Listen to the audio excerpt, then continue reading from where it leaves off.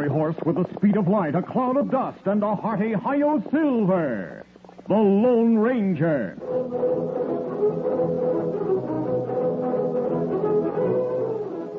Before this exciting adventure, a word from our sponsor. General Mills, makers of Cheerios, the ready-to-eat oat cereal that gives you go power, and Wheaties, the breakfast of champions, present by special recording The Lone Ranger. All over the country in every direction. How you, how you doing is the question. And here's what the happy, happy people have to say. Eating our oh, Wheaties and do, do, doing okay. Okay. You bet we're eating our Wheaties out west, including the champs. Take Eddie Mathews, born in Texarkana, Texas, and a great slugger for the Milwaukee Braves. He got a Texas start and a Wheaties start. Been eating them for years. And there's Gene Littler from California, one of the best pro golfers in the game. Listen. How he socks them off the tee. You bet Gene's a Wheaties champ. Been eating them since he was seven. A He-Man breakfast for champs and gonna be champs. Why, there's a whole kernel of wheat in every Wheaties flake. Keep on eating your Wheaties and you'll be do, do, doing okay. Okay.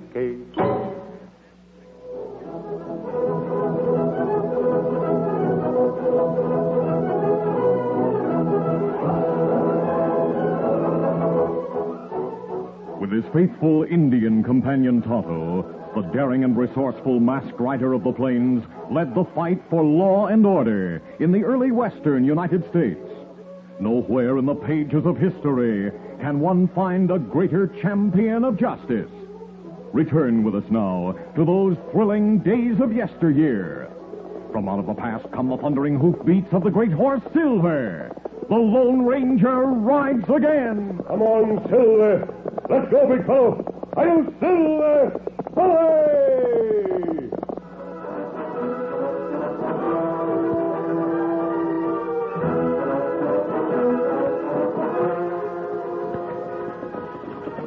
Get up, get up there. Come on. Lieutenant Parsons sat straight in the saddle as he rode alongside an army supply wagon. It was a big wagon, heavily loaded with rifles, ammunition, and uniforms for the quartermaster at Fort Meade. Two guards sat on the high seat with the driver, who guided the powerful team of six horses through Sunset Canyon. Get along here. Come on, get As the wagon rounded a bend, the soldiers saw a small party of about a dozen Indians. Redskins ahead. They've opened fire. Here they come. Let them have it. Stop the team. Fire at will. Oh, oh, The lieutenant had just drawn his carbine from the scabbard when a bullet caught him in the shoulder. Oh, oh. He fell from his horse, but managed to crawl to the protection of a nearby rock. The Indians in the open were easy targets for Lieutenant Parsons. When he shot the leader of the Indians, the four survivors turned to flee. To their dismay, escape was cut off. Come on, Silver. Get 'em up, scout. The masked man and Indian who had heard the gunfire were coming fast and firing from the saddle. The Indians turned again. They rushed toward the rock that concealed Lieutenant Parsons.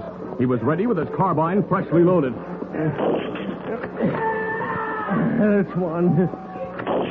That's two. He was weak from pain and loss of blood, but he gritted his teeth and steadied his rifle.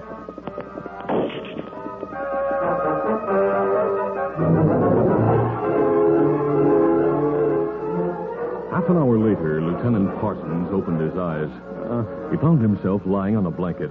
He was stripped to the waist. Someone applied a compress to his wound while someone else bathed his face with a wet bandana. I. Uh, what? Steady, Lieutenant. You're going to be all right. Oh, now I I remember. You and the Indian cut off retreat from the savages. Yes. They, before left, they turned to run. Then they saw you. They turned back and came toward me. You were ready for them. I. I don't remember much. I shot two of the four. You shot all four. I don't remember the last two. I, Your wound is a painful one. Well, what about the man on the wagon? You're better off than they are. You mean? Yes.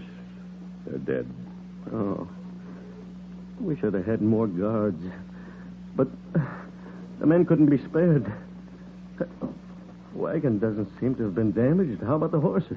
Two have flesh wounds, but they're able to work. Well, but, look, if you could lift me to the driver's seat, I, I might be able to take the wagon through to Fort Meade. Lieutenant, you wouldn't have a chance. Oh, but I, I must. The soldiers at Meade can wait for their new uniforms. Oh, uniforms. no, no. In that wagon, beneath the uniforms, the new repeating rifles.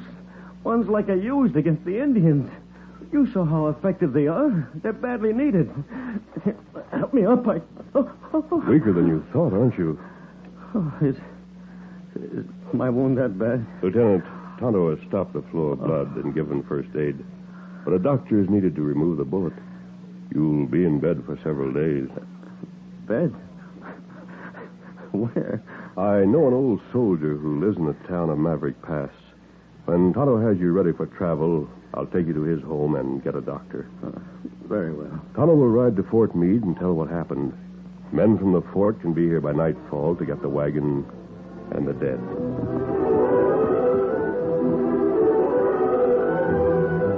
The trip to Maverick Pass was exhausting for a man already weakened. Lieutenant Parsons lost consciousness before the trip was ended. He was still unconscious when the doctor came. While the Lone Ranger and his friend Dave Manley waited for the doctor to come from the bedroom, the masked man told the old soldier about the fight in the canyon.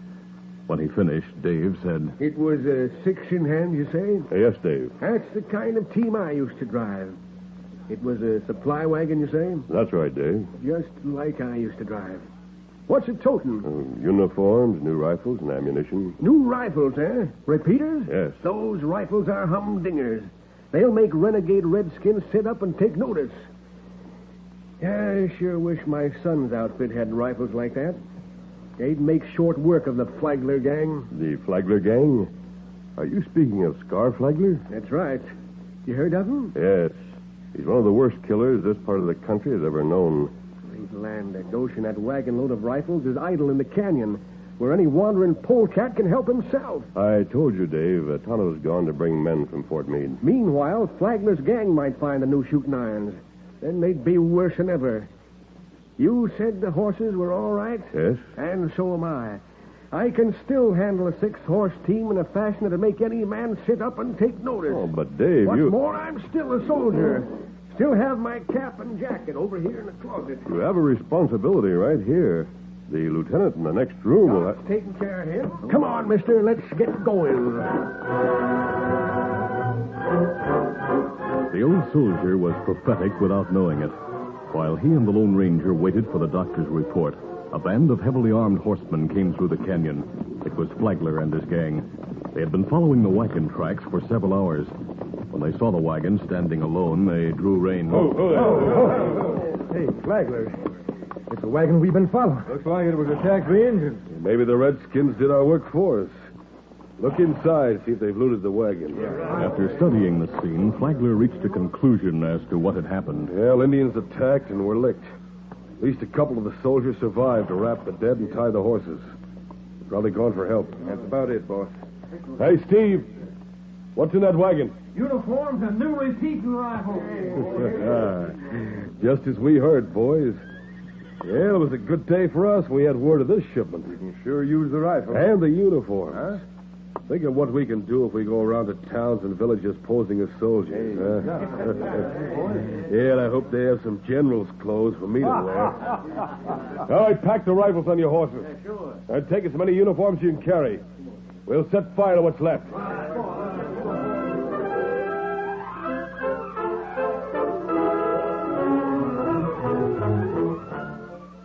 We'll continue our Lone Ranger adventure in just a moment. When Bill's at bat, the kids all shout, You can't strike that slugger out. He gets a hit because he knows he's got go power from Cheerios. Yes, he's got go power. There he goes. He's feeling his Cheerios, Cheerios, Cheerios. Sure, Cheerios, the cereal that's fun to eat because it's shaped like little letter O's. The only ready to eat oat cereal with this fresh toasted oat flavor. And listen, every delicious spoonful of Cheerios and milk is real muscle building food. Each spoonful contains vitamins, minerals, and proteins your body needs. Yes, the good things in a Cheerios breakfast do good things for your body. Help you have healthy nerves, good red blood, strong bones and muscles. Yes, Cheerios is made to give you real go power. So every morning, get going and keep going with Cheerios. Then you'll hear people say, He's feeling his Cheerios. Now to continue. The Lone Ranger and Silver waited in the saddle shed while Dave Manley saddled his horse. The old soldier's hands trembled with eagerness. Steady now. Steady, you old fighter. I'll have you saddled in no time. I thunder it takes ten years off my age to be wearing my army uniform and getting ready to ride to duty. Will it take long to reach that place where the wagon was left? We'll be there in about an hour, Dave. You'll probably meet Tonto and the men from Fort Meade. Oh, there. I'll wait in the canyon until someone comes for the soldiers who gave their lives. Right. There, I'm all set. Lead the way. All right, easy, steady, big on, Silver. Now, get up there. Uh, I mean, come on, Krusty. The army wagon was heavily built, but the wood was dry from years of use in hot sun. Set afire by Flagler's gang, it burned like tinder. By the time the Lone Ranger and the old soldier reached the place, the wagon was reduced to smoldering embers and blackened hardware. Oh, Silver. Oh, Oh. Look. Look what's happened. Steady, big fella. Dave, we're too late. Easy, boy. Gone, you called it. These tracks were made by the men who set the wagon on fire. Look at them. Oh, must have been a lot of them. Did you ever see Indians wearing boots with high heels? I think it was white men who came here. White men? Let's look at the remains of the wagon. Do you see any rifles in there? Eh, let me poke around. Oh, still hot. There are a number of repeating rifles on the wagon. So you said. I don't see anything that looks like them. Yeah, they've been stolen. I can savvy why a pack of outlaws would steal rifles, but why would they set fire to the wagon? Possibly because they hated everything connected with the army. You said Scar Flagler hated the- Flagler. Great day, that's it. This is his work. The raiders came along the floor of the canyon. They seem to have been following the wagon tracks. How many of them would you say there were? Yeah, there are tracks of at least a dozen horses. When they left here, they went that way. Up the canyon wall? There seems to be a narrow trail to the top. Hmm, Could we follow those tracks? I think so. Wonder why they left the horses that pulled the wagon. Tain't like those crooks to leave six strong horses behind. Probably because those horses couldn't climb the side of the canyon. Dave, we'll follow those tracks. Leave clear signs so Tonto can follow us. With soldiers. I'll arrange a few stones here on the ground. Oh, what's that for? A message to Tonto. He'll know I want him to follow. There, that'll do it. Ready, Dave? Right. I just hope I get Scar Flagler in front of my shooting iron. That's what I hope. The Lone Ranger led the way along a narrow shelf-like trail that led to the rim of Sunset Canyon. Then, for over half a mile, the hoof marks of the outlaws' horses could be clearly seen on level tableland. After that, the ground became rocky and uneven. Foothills gave way to jagged mountains. We're getting into high country. And rugged. I bet we've passed a dozen caves and canyons. This is just the sort of mountains a gang like Flagler's would pick for a hideout. Dave, I want you to drop back about 50 yards. Why? We may be getting close to the gang. You figure they'll shoot us on sight, is that it? They'd be more likely to shoot you because of your uniform. Well, then let me ride ahead and draw the gunfire. You're a better shot. You're mounted on a better horse. If you drop back, you'll have a chance to duck for cover.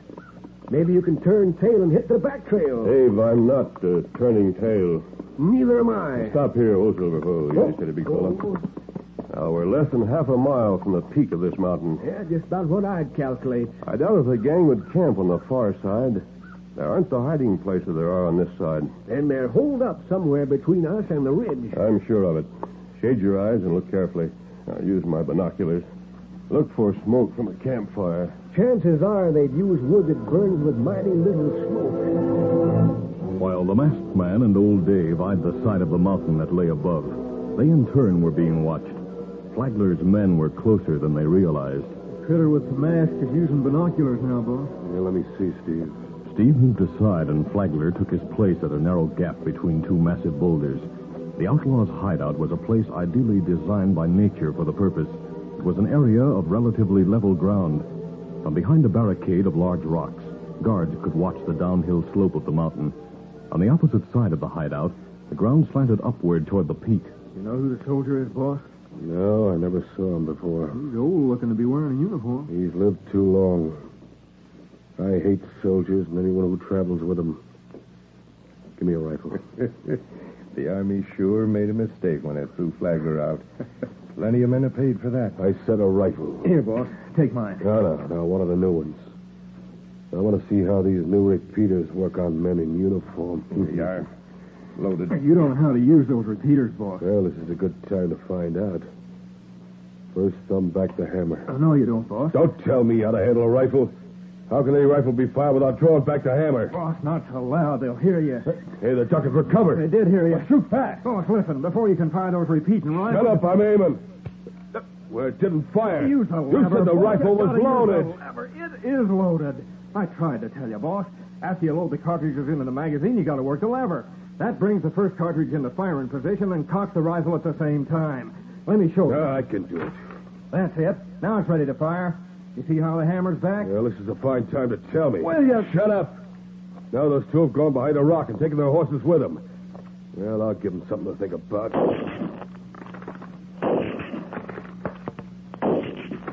Get anything? No, but I cut plenty of hunks off the top of that rock. I'll let them know what'll happen if they come to any nearer this. How'd they get this far? I didn't think anyone could follow our trail to this hideout. Well, maybe just luck on their part. Maybe they didn't follow any trail. Well, if they know someone's holed up here, we can't let them get away. Don't worry, they won't get away. The Lone Ranger and Dave Manley, momentarily safe behind the rock, held a brief council of war. At least we know where the gang's hiding. Dave, you're going to hit the back trail while I try to cover your retreat. No, sirree. I told you before, I won't turn tail and run. Listen to me, you old fire eater.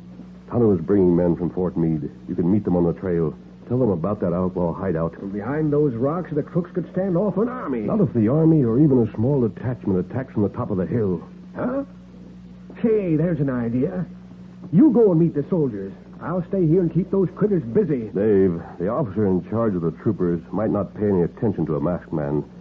What if an old soldier like you outlines a military strategy? Yeah, I guess you're right at that. Why don't we both go? We'd be cut down before we went 50 feet. Someone must stay here and fire fast enough to keep the outlaws' heads down.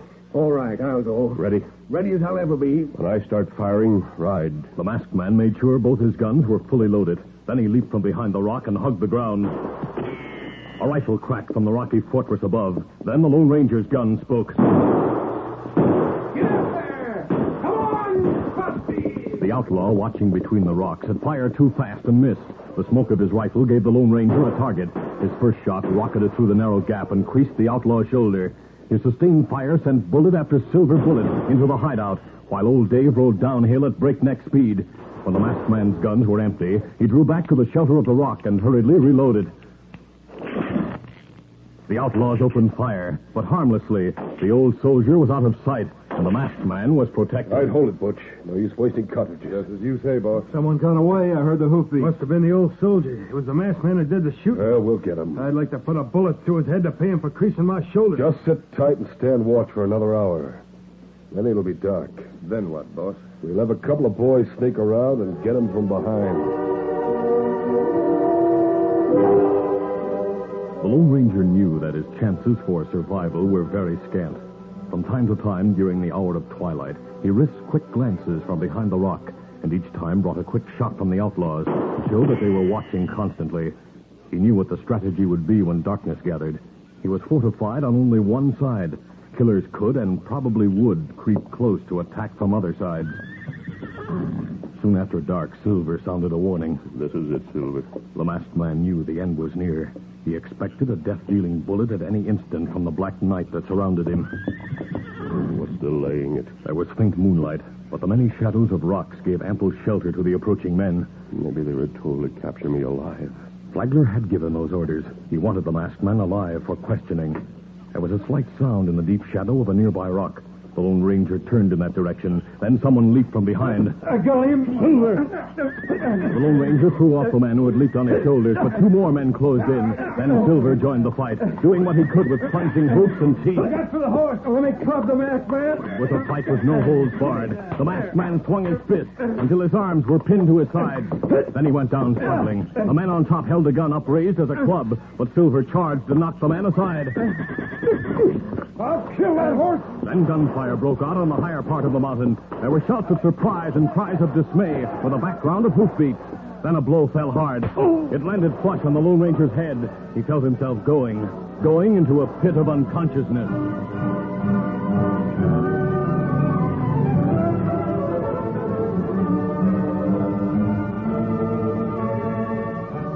The Lone Ranger opened his eyes in lantern light. He saw Tonto at his side, then an old man in a soldier's uniform. Dave Manley spoke. Why, he's awake. Gosh, mister, how are you feeling? I'm all right, I, I think. Uh, you all right, Kimasabi? If Tonto says so, it must be so. Great day, we've got a lot to tell you. Uh, Flagler. It was his gang right enough. He, my son, led the attack on him. Why, here, here's my boy. Oh, hello, Bob. It's great to see you again. Don't try to stand for a time. Oh, I'm all right.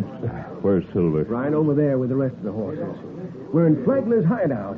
We corralled the whole gang, got 'em red-handed, with no end of stolen loot, and the army uniforms and rifles. Good for you, Dave. We snuck close from the top of the mountain.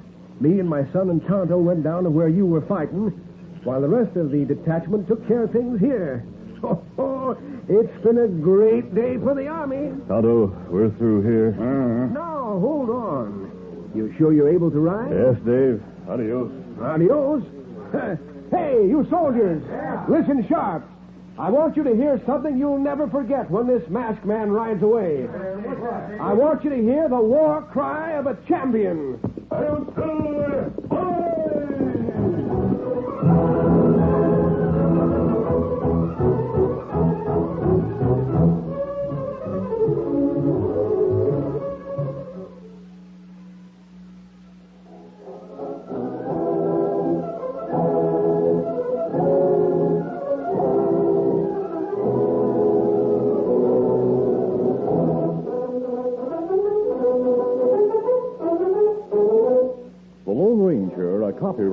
Feature of the Lone Ranger Incorporated, is produced by Trendle Campbell Muir Incorporated.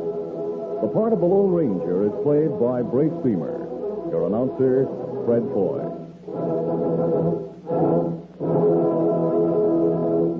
Listen to The Lone Ranger, brought to you by special recording Mondays through Fridays at this same time.